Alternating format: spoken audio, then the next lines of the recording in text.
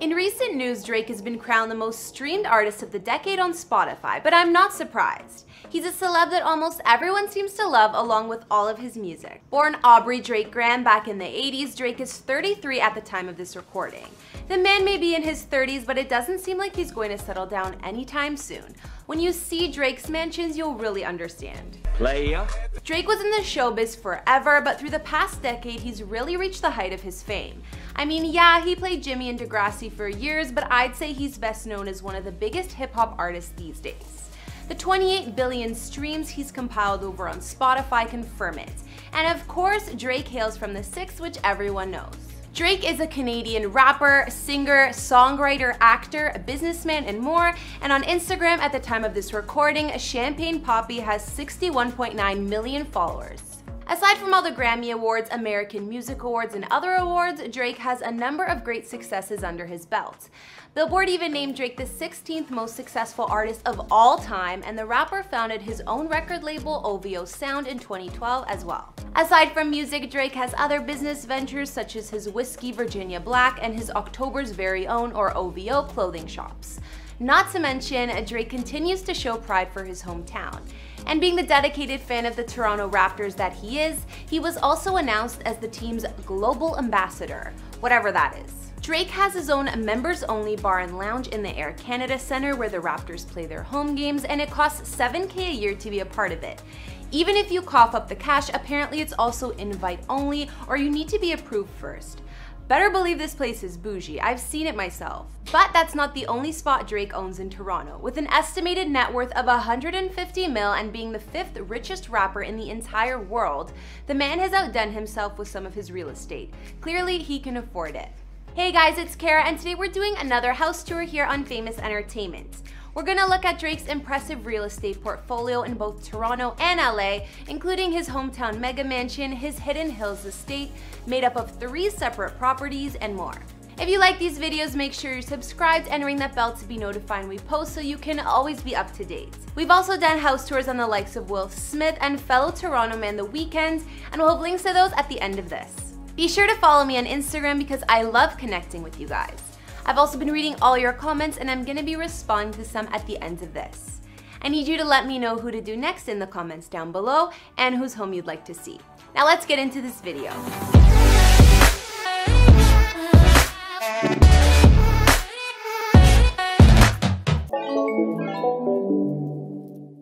We look at Drake's life of luxury, let's get a little background. So we know the started from the bottom singer didn't appear to actually start from the bottom, but he really did come a long way. Like I mentioned, Drake is from Toronto, Ontario, and most of his early life was spent growing up in the neighborhood of Forest Hill. Forest Hill is known to be a wealthy area of Toronto, so of course many fans assume Drake had it easy. I too live in Toronto, and I know that only rich people really live in that area. Drake denies he was well off back then and explained that his family only lived there because his mom was living beyond her means and they rented a basement and first floor of a house. Drake said, I grew up with a mom who was deep in debt because she wanted the best for her family. As a teen, Drake even gave a tour of his home. The home seems pretty modest to me.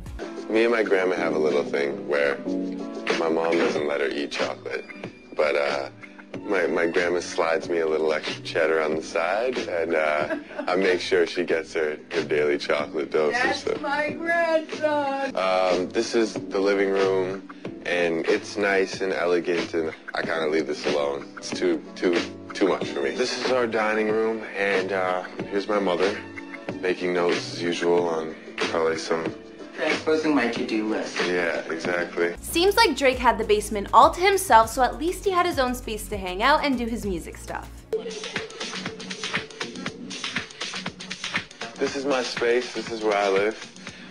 And through here, this is my living room. I like a chilling vibe. That's my favorite thing about this this basement. I wonder if Drake knew back when he was filming this vid where he would be now. Boy, have times changed. And then through here, this is the this is my comfort area. As you can see, I recently did laundry. This is actually a very nice couch. And in here, I have more stuff. Some sweaters and t-shirts, some blazers, jackets, and the shoes are a big thing. I got them from from bottom to top.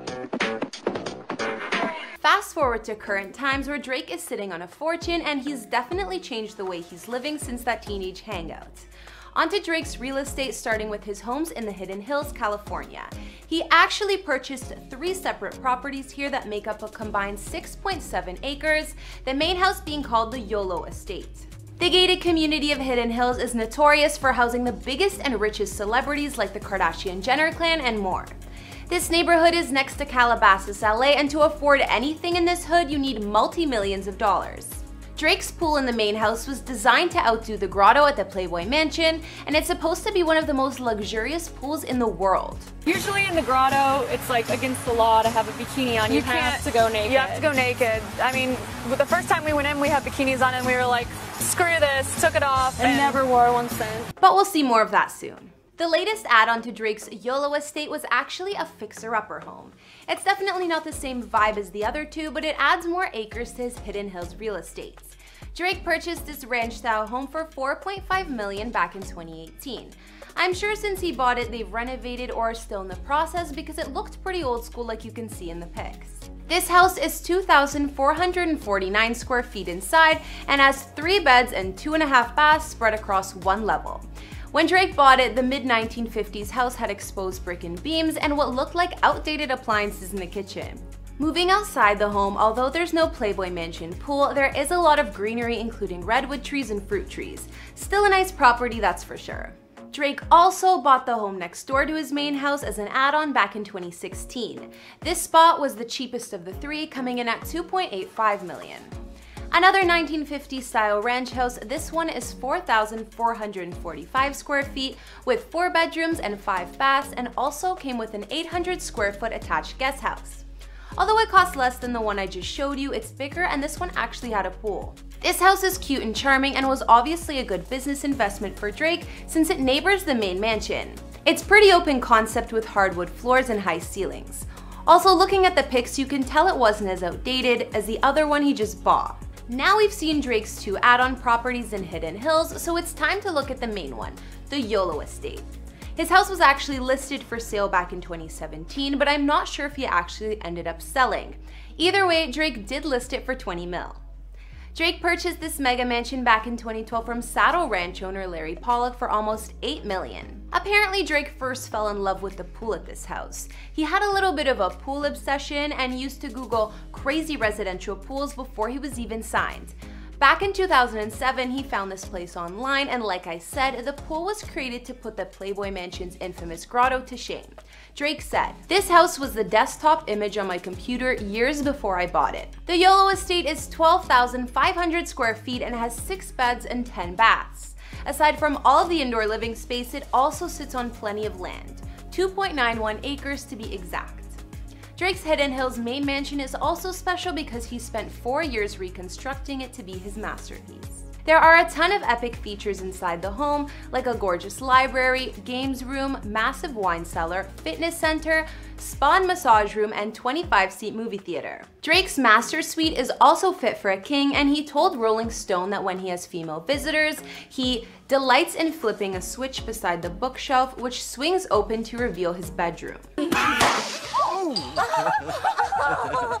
Sorry about that. I swear to God that never happens.